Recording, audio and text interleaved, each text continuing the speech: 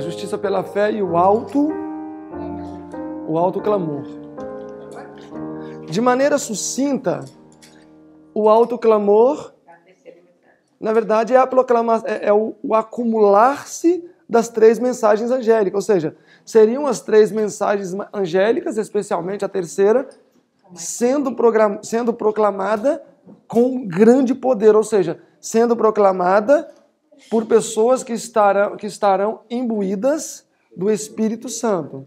A chuva serôdia vai ser derramada né, sobre um grupo de pessoas que vão estar preparados e eles vão começar a proclamar as três mensagens angélicas: o temeio a Deus, o dai-lhe glória, o caiu, caiu Babilônia, o, o, o, a, o sai dela, povo meu, a, o selo ali de Satanás, o sai dela, povo meu, na verdade, é a essência da mensagem, né? E vai ser o momento em que as pessoas que estão nas outras denominações, que são pessoas fiéis, e na verdade a irmã White fala, já leram o texto, eu acredito que existem mais fiéis fora da igreja do que dentro, ou seja, a maioria dos fiéis de Deus estão espalhados em outras denominações. Mas eles só serão é, resgatados destas denominações quando quando vier o alto clamor. E quem é que desencadeia o processo inicial do alto clamor? Somos nós, conhecedores da verdade, pessoas que conhecem e praticam e vivem a mensagem do advento, ou seja, adventistas fiéis. Olhem isso aqui nas escrituras e no livro de Zacarias. Nós vamos falar aqui dos últimos dias, aqui em Zacarias 14, tá? A chuva serôdia cai quando? Nos últimos dias. dias. Zacarias 14, verso 1 diz: Eis que vem o dia do Senhor. do Senhor. Eis que vem o dia do Senhor. O capítulo 13, verso 1: Naquele dia haverá uma fonte. Ou seja, não vai ser goteiras, não, vai ser uma fonte. E o que, que essa fonte vai jorrar? Chuva serôdia sobre o povo. Chuva serôdia. E o verso 12 diz, do capítulo 14: E esta será a praga com que o Senhor ferirá todos os povos que guerreiem contra Jerusalém. Isso no sentido literal, mas agora tem a aplicação espiritual. A carne se apodrecerá estando eles postados em pé, e lhe apodrecerão os olhos nas suas órbitas, e a língua lhe apodrecerá na sua boca. Em Apocalipse, esta é qual praga? A primeira. Lembra a primeira praga? Que vai ser ferido com úlceras. Essa é a primeira praga. Então nós estamos falando aqui dos eventos finais. Dos eventos finais. Olhem só o que vai acontecer mais. Verso 13. Naquele dia também acontecerá que haverá da parte do Senhor uma perturbação entre os homens, porque cada um paga, pegará a mão do seu próximo e cada um levantará sua mão contra o seu próximo.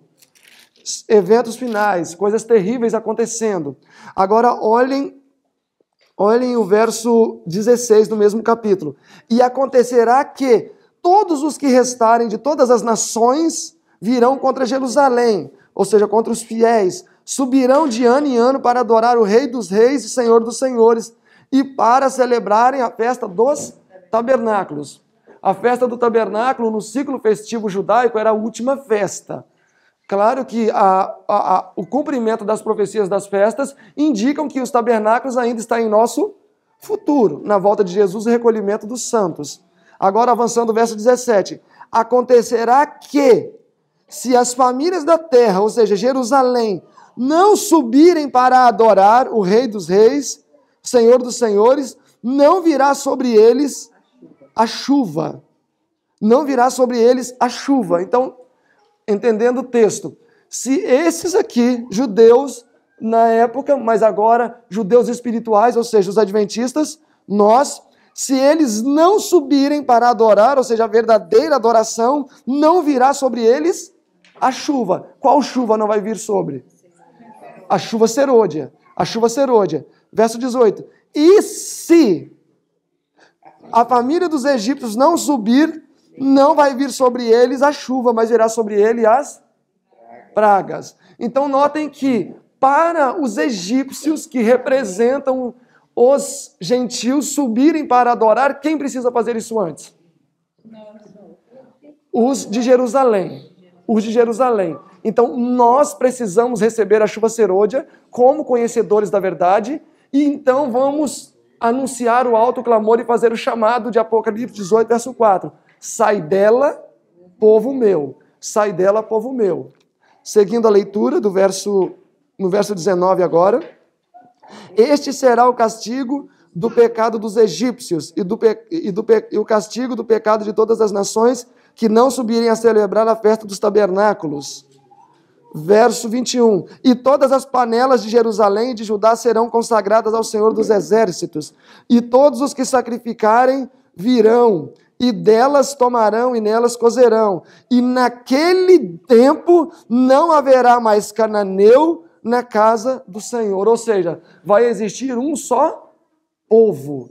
Vai existir um só povo. Os que vão vir de fora vão se aglutinar aos adventistas fiéis que vão estar proclamando a mensagem do alto clamor e vão se tornar um só povo. Estes que vêm de fora, a Bíblia diz que são os ceifeiros da, uma, da undécima hora. Vão chegar para nos ajudar a concluir a obra. Mas para o alto clamor ter início, para a mensagem da para a mensagem dos três anjos chegar às pessoas, é necessário que nós recebamos a chuva serôdia. É necessário que nós recebamos. Senão, o texto diz que vai vir sobre eles as pragas e não a chuva. Então, nós é que vamos desencadear o processo do recebimento da chuva serôdia e logo contribuir assim para que outros também recebam. Então a responsabilidade está nas nossas mãos. Meus irmãos, como guardadores do sábado, como professos adventistas que somos, nós temos uma responsabilidade que, que é muito pesada. Nós professamos diante do universo ser luz então, nós deveríamos ser um contraste em todos os aspectos da nossa vida. Olha, se a minha roupa, se a minha comida, se o que eu falo, se o que eu faço é igual ao que o meu vizinho que não é adventista faz, isto logo me indica como que eu não tenho luz, eu estou em trevas. Qual é o objetivo da luz? Brilhar, Brilhar e fazer um contraste com as trevas. Mas se o meu vizinho gosta de ver novela e eu também, existe alguma diferença? Se, a minha, se o meu vizinho come tudo o, o que se move e eu também, existe alguma diferença? Se o meu vizinho namora diferente, se o meu vizinho, se eu namoro assim como o meu vizinho, que não é cristão, eu tenho alguma diferença dele? Se o mesmo que o meu vizinho faz com a sua esposa, que Deus não aprova no leito, eu faço aqui com a minha esposa, tem alguma diferença? Não, não. Nós precisamos pregar o Evangelho e o Evangelho vai ser pregado em contraste. Vai ser pregado em contraste. É quando uma pessoa é quando uma pessoa olha para duas pessoas e fala: olha, este é diferente deste. Eu não sei porquê, mas este é diferente deste. Porque se os dois forem iguais, não há luz, ou seja, ele não vai estar cumprindo o propósito. Por isso que as escrituras ensinam que nós devemos pregar o evangelho em testemunho, de maneira que a maneira que eu falo com a minha esposa deve ser diferente da maneira que os não cristãos falam com suas esposas. A maneira que eu me comporto como esposa para com o meu esposo precisa ser um, um comportamento superior ao comportamento da esposa daquele que não é cristão.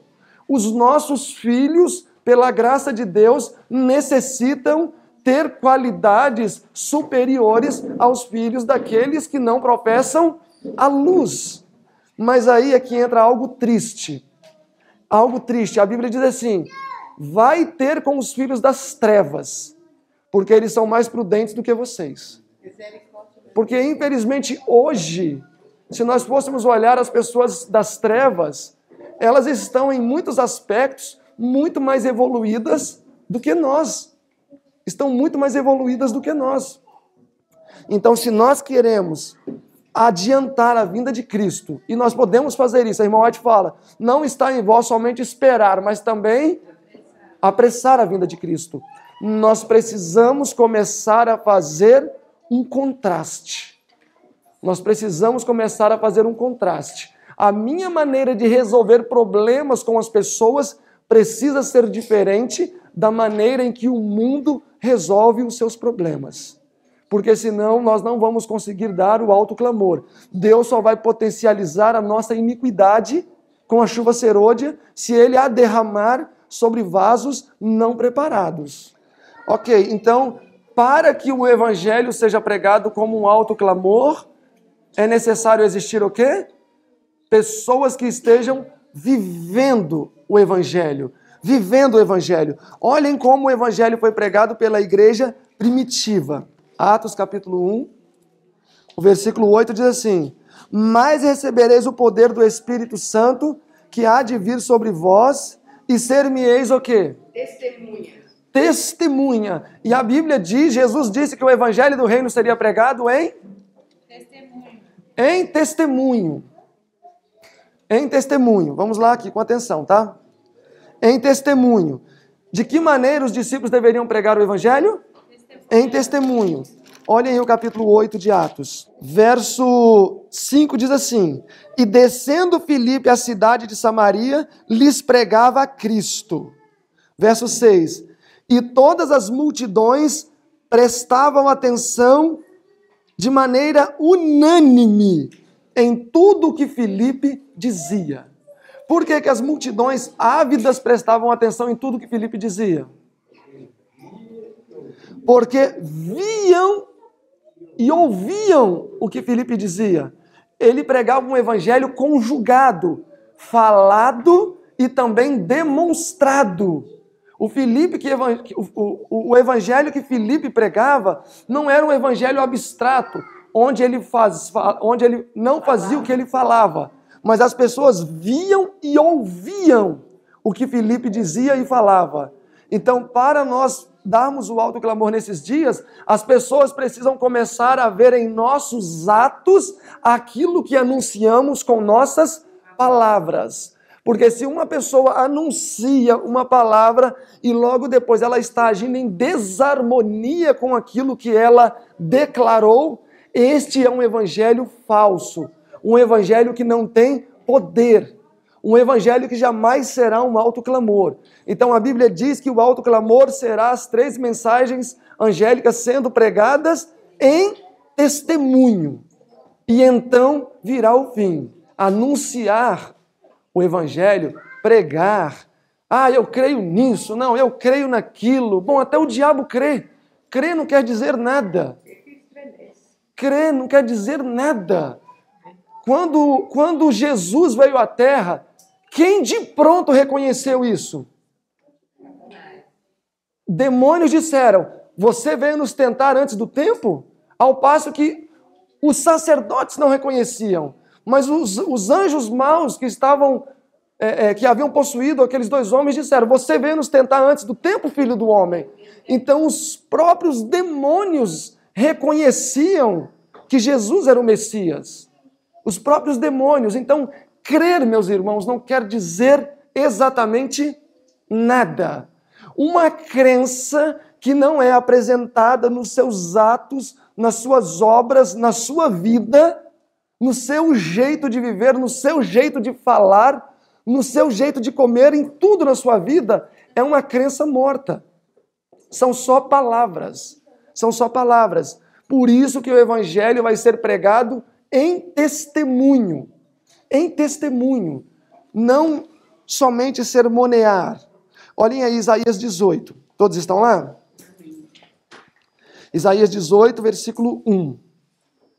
Diz assim: Ai da terra que ensombreia com as suas asas, que está além dos rios da Etiópia. Além dos rios da Etiópia. Eu vou anotar essa expressão aqui. Isaías 18, verso 1. Eu gostaria que vocês memorizassem essa, essa parte que daqui a pouco a gente vai se deparar com ela.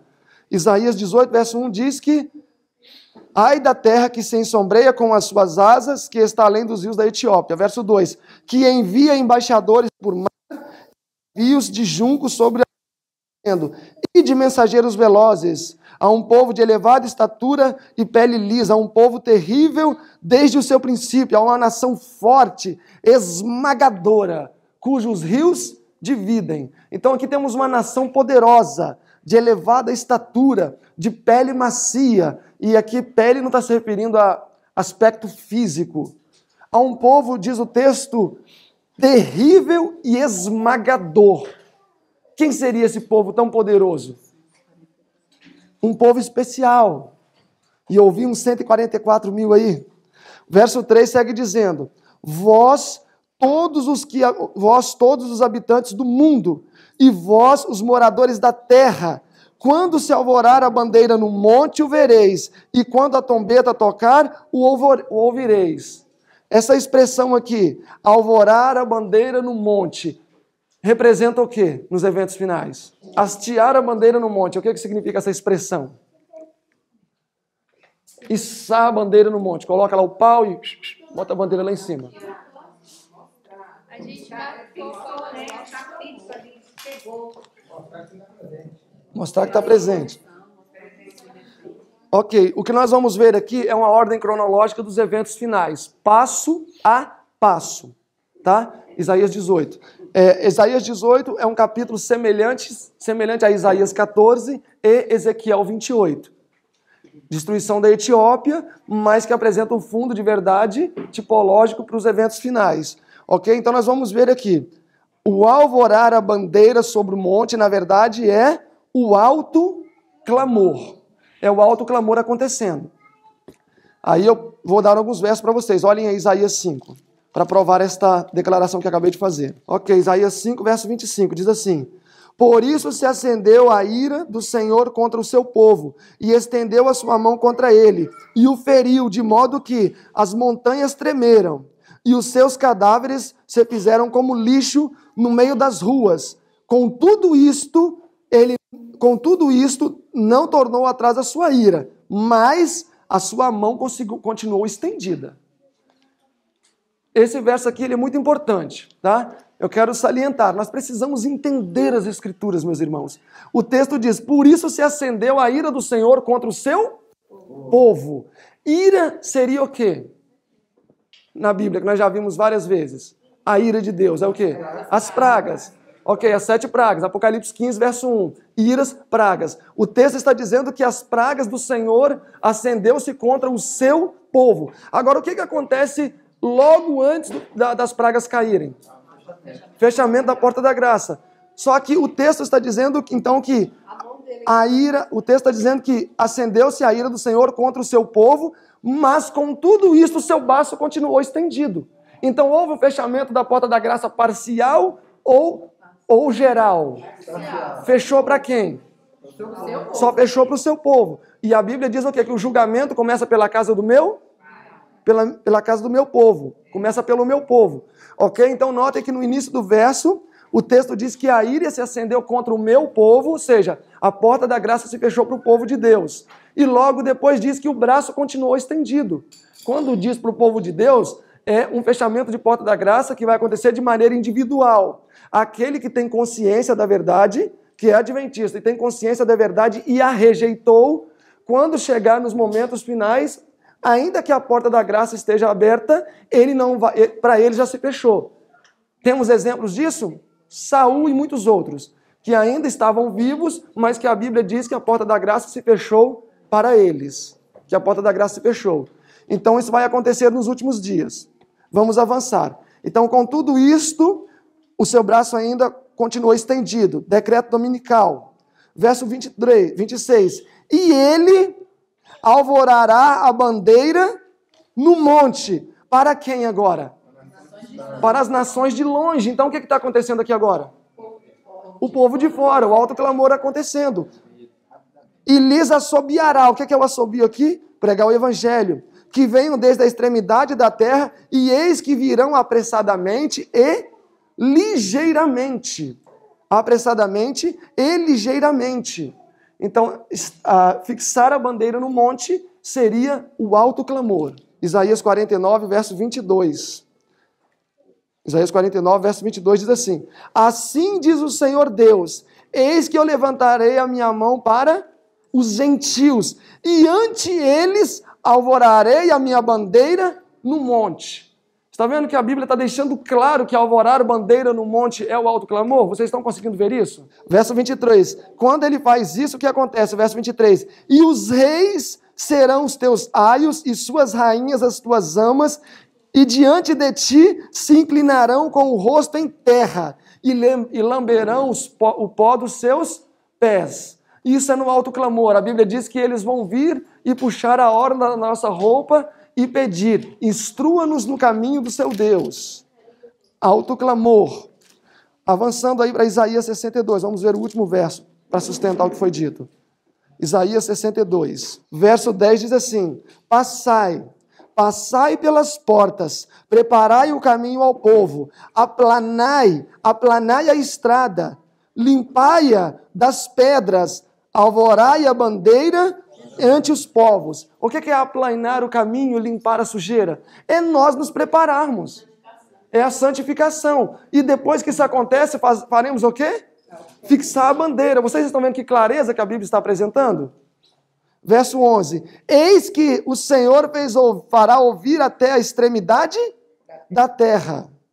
Até a extremidade da terra. Verso 12: E chamar-lhes-ão povo santo, remidos do Senhor. Meus irmãos, o que, que essas pessoas que vão vir de longe vão dizer daqueles que receberam o alto clamor? Povo santo, remidos do Senhor. A irmã White diz assim no testemunho para ministro, página 507. Ela fala assim: aqueles que estão esperando a chuva serôdia para reparar os seus defeitos de caráter, ela diz, estão cometendo um erro terrível. Um erro terrível. A própria Bíblia está declarando de maneira enfática: aplanai o caminho, aplanai o caminho, limpai as estradas, tirai as pedras, ou seja, se purifica. Se purifica porque eu vou derramar a chuva serôdia sobre um povo purificado. Se uma pessoa ainda porta o defeito da fofoca e recebe o poder do Espírito Santo, ela vai fofocar com o poder do Espírito Santo e Deus não vai fazer isso. Deus não vai potencializar o pecado. Eu já pratico iniquidade. Se eu sou imbuído pelo poder do Espírito Santo, já imaginaram quanta abominação não faria?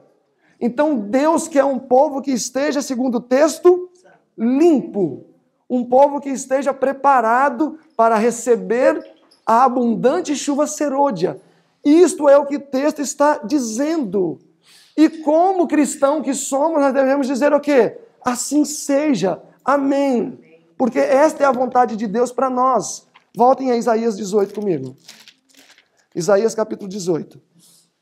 Todos estão lá? Ok, verso 3, então, o alto clamor acontecendo. Alvorar a bandeira sobre o monte. Alto clamor. Verso 4. Porque assim me disse o Senhor: Olhem, eu vou ficar quieto na minha morada, só olhando. O que, que aconteceu no verso 4? A porta da graça fechou. Olha só o texto. Porque assim me diz o Senhor: estarei quieto, olhando desde minha morada, como o ardor do sol resplandecente depois da chuva, porém antes da cega. Está vendo que cronologia linda? Depois da chuva, qual chuva? Que ele vai, ficar quieto depois de qual chuva? Depois da chuva serôdia. Só que vai ser antes ainda da, da cega. Então a chuva aqui que ele menciona é a chuva serôdia que vai cair. Quando a chuva serôdia cumpre o seu papel, a porta da graça se fecha, Jesus sai do Santíssimo e a Bíblia diz que isso seria o momento em que ele ficaria quieto. Aí o verso 5: Porque antes da cega, quando o fruto deve estar perfeito. Quando? Quando? Antes da cega. Então eu devo esperar Jesus para ter defeito de caráter reparado? Não. Olha o texto como está dizendo. Olha, irmã, pode ler para a gente o texto aqui, ó. Porque antes da cega, quando já o fruto está perfeito. Quando o fruto já está perfeito. Então, segundo o profeta do Senhor, quando é que o fruto tem que estar perfeito? Antes da, Antes da cega. E a cega é o quê? A cega é a vinda de Cristo. Então o texto não está dizendo, não se preocupem, quando Jesus vier para colher, ele vai tornar o fruto perfeito. E é claro que aqui não está falando de milho, não está falando de, de manga, o fruto aqui é o caráter. O fruto aqui é o caráter. Então, meus irmãos, quando é que o fruto precisa ser, estar perfeito? Perfeito. Antes da cega, antes da vinda de Jesus, antes do fechamento da porta da graça. Vamos avançando. Vamos avançando. Verso 7. Naquele tempo, qual tempo? Da cega, desses momentos é, iminentes que estamos falando, naquele tempo trará um, se trará um presente para o Senhor dos Exércitos. Olha que interessante. Então, naquele tempo, o que, é que vai fazer? Vai se dar um presente para Jesus. Jesus vai receber um presente. O texto aí está dizendo presente também na Bíblia de vocês? Um presente. E qual é esse presente que Jesus vai receber? Um povo elevado de estatura e de pele lisa, um povo que foi terrível desde o princípio, uma nação forte, esmagadora, cujos rios, cuja terra os rios dividem. dividem. Então, esta nação poderosa, esmagadora, de pele macia, pele rosada, será dado de presente para Jesus. Jesus vai estar lá e o pai vai falar: olha, isso aqui é um presente para você. Onde é que Jesus vai receber este presente? Olha o final do verso. E o presente foi dado ao lugar do nome do Senhor dos Exércitos, no Monte Sião. Então Jesus vai estar em pé no Monte Sião e Deus vai até lá e vai dar o que para ele?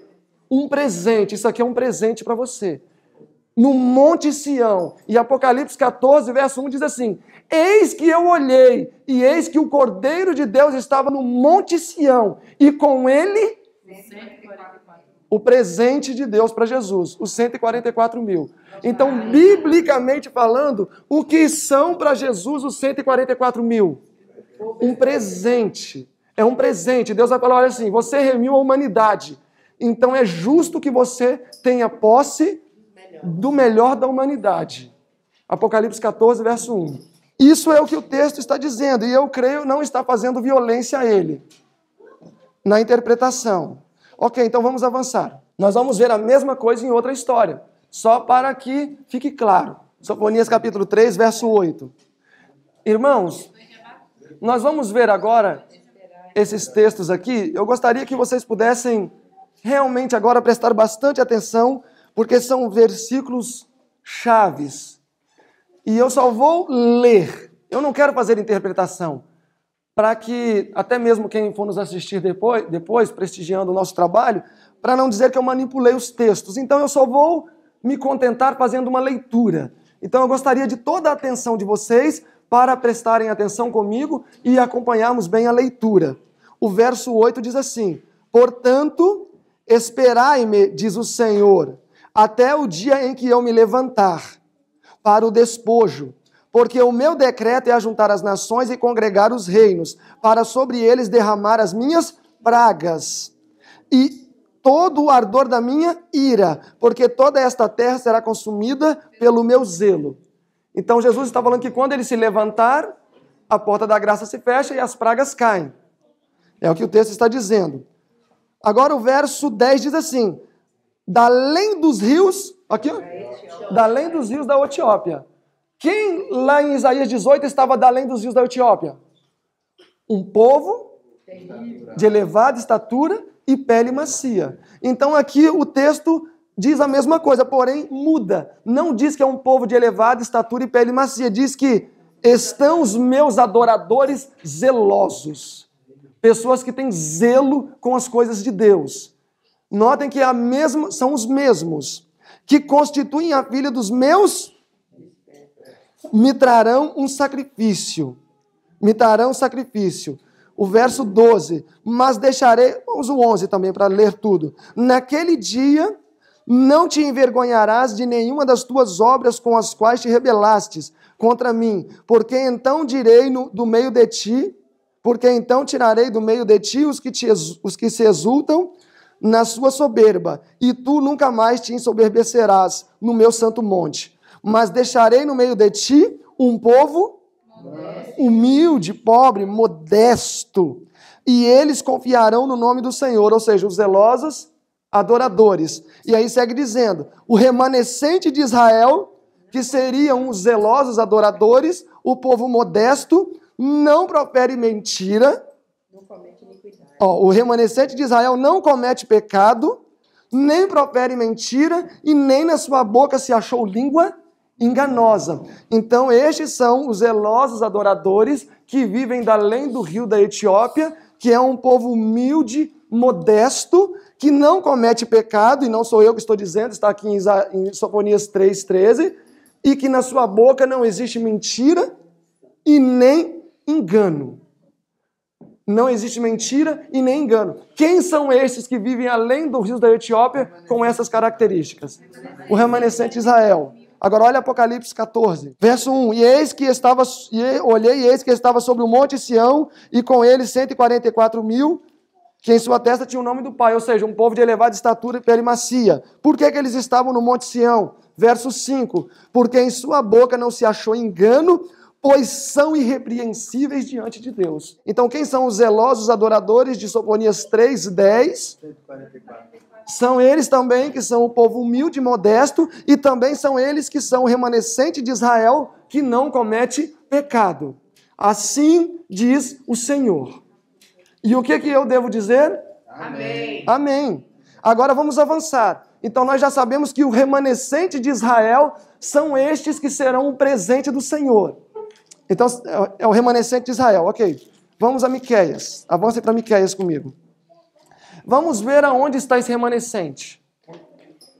Vamos ver onde se encontra, ou pelo menos boa parte desse remanescente. Nós vimos lá em Sofonias 3 que Jesus disse assim: Eu tenho zelosos adoradores, são modestos, humildes, não comete iniquidade e nem se acha engano na sua boca. Apocalipse atribui as mesmas características aos 144 mil. Agora, aonde está o remanescente de Israel? Miqueias 5, Miqueias 5, no verso 4, diz assim: E Jesus permanecerá para sempre, e apacentará o povo na força do Senhor, na excelência do nome do Senhor, seu Deus. E eles permanecerão, porque agora ele será engrandecido até os confins da terra. O que, é que está acontecendo aqui? o alto clamor. Notem que Jesus está sendo engrandecido até os confins da terra. Agora, olhem o verso 7. O remanescente de Jacó. Lembram de Isaías, de Sofonias? Que não comete pecado? Ó, o remanescente de Jacó está no meio de muitos povos. Verso 8. O remanescente de Jacó estará entre os gentios. Estará entre os gentios. Então, aonde está boa parte do povo de Deus que vai se avolumar no alto clamor depois? Na igreja invisível. O remanescente de Jacó, que segundo Sofonias não comete pecado nem tem iniquidade em sua boca, o texto diz: o remanescente de Jacó estará entre os gentios, no meio de muitos povos. No meio de muitos povos. Miqueias 5, versos 7 e verso 8. Então, meus irmãos, nós temos uma maravilhosa profecia que tem arguído a cada descortinar de uma nova era. E, de, e muitas pessoas têm aceitado e têm se tornado pessoas descritas por estas profecias que nós vimos aqui como pessoas de elevada estatura. Será que ali é a estatura física? Não. Davi era pequeno. Estatura moral. Será que é pele brunida, rosa ou lisa? Não. Caráter perfeito. E o texto diz que eles são terríveis, nação esmagadora e poderosa, temíveis. Então serão pessoas que realmente vão viver à altura de toda a luz que está sendo disponibilizada. Quantos de nós podemos ser esse povo? Todos nós. Todos nós podemos ser esse povo, meus irmãos. Todos nós temos condições de ser este povo. Por nossas próprias forças? Não. Nós não devemos olhar para a, para a muralha de Jericó, nós devemos olhar para alguém maior do que ela. Quando olhamos para a muralha de Jericó, com Deus, ela se torna um tijolo. Quando olhamos para um tijolo sem Deus, ela se torna uma muralha de Jericó. Então, meus irmãos, a impossibilidade da vitória, a irmã, a irmã White diz que está onde? Em nós mesmos. Em nós mesmos. Meus irmãos, aceitemos a demonstração das Escrituras, pois um dia um homem orou e ele fez o céu, o sol parar lá em cima, ou a terra parar. Outro dia outro homem orou e a terra rodou ao contrário. Um dia um homem colocou o pé na água e o Jordão se partiu em dois. Será que o Deus que atuou ontem não é o mesmo que pode atuar hoje? Não foi o poder de Deus que diminuiu, foram os Moiséses que sumiram. Não é o Jordão que não pode mais ser interrompido, é porque não surgem Josués. É porque não surgem Josués. Então, meus irmãos, nós precisamos nos apossar do poder do braço do Senhor. Não devemos ficar desanimados diante da diante do, do, do nível que precisamos alcançar. Na verdade, devemos nos animar. Os mundanos fazem isso. Os mundanos fazem isso. Quando eles têm que, por exemplo, os atletas, quando eles têm que encarar um desafio demasiado grande, o que, é que eles fazem? Eles falam, não, eu vou encarar esse desafio. Então ele se prepara muito mais arduamente. E então, meus irmãos, é, é esforço. O pop rock era dividido em quantas partes? Duas. De um lado estava Michael Jackson e do outro lado estava todo o resto. Agora, por que, que de um lado estava Michael Jackson e do outro lado estava todo o resto? Porque desde criança ele ensaiava a fio da espada oito horas por dia. Só por isso, de um lado está todo o resto e do outro lado está Michael Jackson, como o maior dançarino pop rock. Ele ensaiava a fio de espada oito horas. Oito horas. Então, o esforço trabalha da causa para o efeito. A pessoa que não é cristã e cuida da saúde, ela não vai ter doença porque ela não é cristã, ela vai ter saúde. Agora, o cristão que é cristão, que não cuida da saúde, ele não vai ter saúde, ele vai ter doença. Por quê? É causa, efeito. A Bíblia está aqui, eu solto, ela cai. Não tem jeito. Então, como eu posso ser um homem de elevada estatura e pele macia? unindo o esforço humano com o poder divino. Mas o esforço humano não é como as pessoas têm dito, no sentido, ah, irmão, senta aí que Deus vai operar. Não, Paulo disse assim, 1 Coríntios 9, 27, subjugo o meu corpo e eu o reduzo à servidão. Eu o reduzo à servidão. E Atos dos Apóstolos, página 314, a irmão fala assim, as palavras dita, ditas por Paulo, subjugo meu corpo, literalmente significam repelir através de severa disciplina todos os desejos, todos os impulsos e todas as paixões. Meus irmãos, é luta. Sabem por que hoje a igreja não vence como Jesus venceu? porque nós não buscamos como Jesus buscou. A irmã White fala que muitas vezes, quando os discípulos se retiravam para descansar, a majestade do céu subia para o monte para orar. E ela fala que, em uma atitude suplicante, o Salvador do mundo se curvava, ao passo que gelo começava a acumular-se na sua cabeça.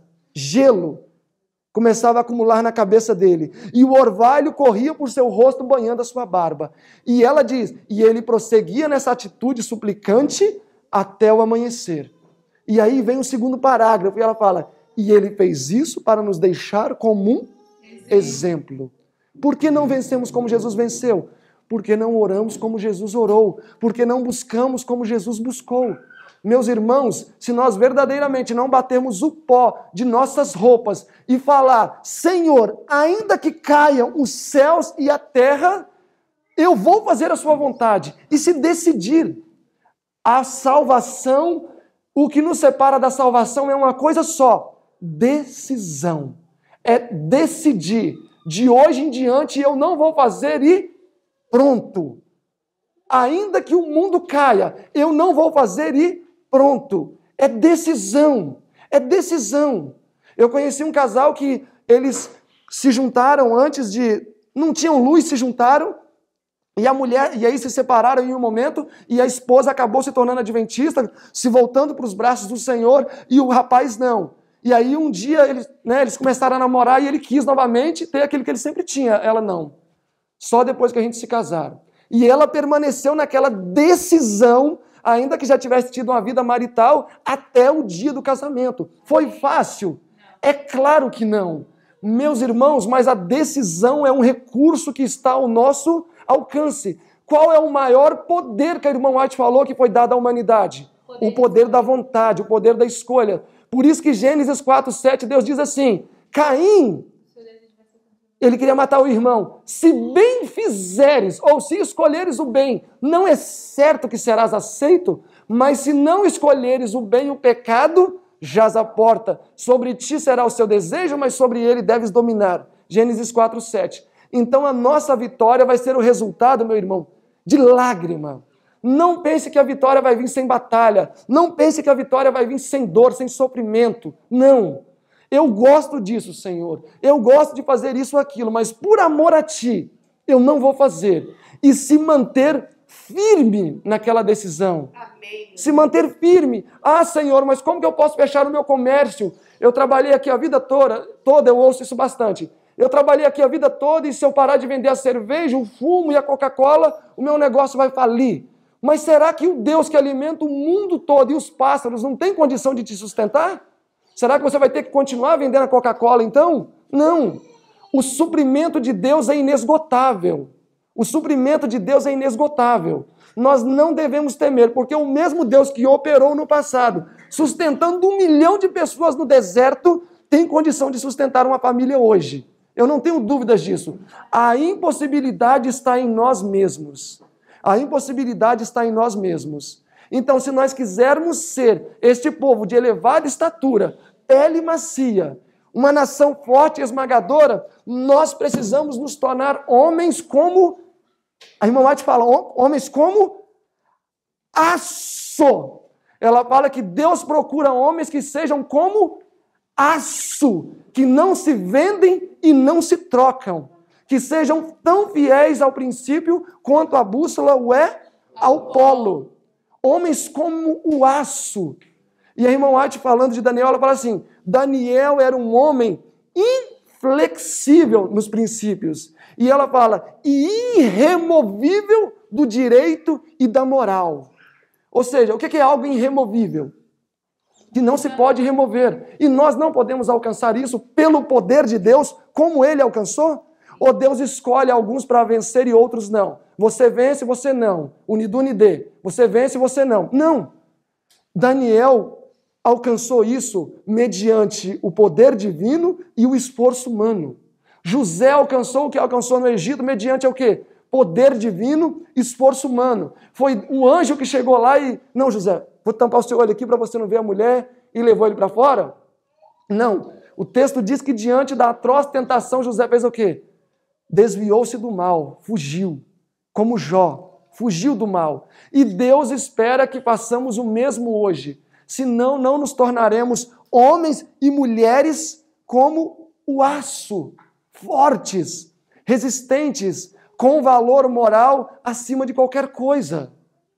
E Deus espera que esta geração alcance isso. Deus tem pressa de voltar e nós temos pressa de subir. Então nós temos algo em comum com Deus. Ele quer que subamos e nós queremos subir. Mas para isso basta somente concluir os ajustes que são necessários. Basta concluir esses ajustes. E aí eu tenho certeza que nós vamos ver Jesus rasgando pelo meio dos céus e voltando para nos resgatar. A Bíblia diz que o, céu vai se abrir assim, ó, como uma cortina. Essa não é, esse não é o nosso desejo? Não é o nosso sonho, não é a nossa ambição? Então devemos viver em conformidade com este desejo. Devemos viver em conformidade com esta ambição de ver Jesus voltando nas nuvens dos céus. E não precisa ser numa geração futura, não precisa. Não precisa. Por que não pode ser na nossa? Trabalhemos para isso. Oremos para isso, nos esforcemos para isso. E aí, nós vamos receber o nosso Salvador de braços abertos para nos resgatar desse mundo de pecados. Amém, meus irmãos?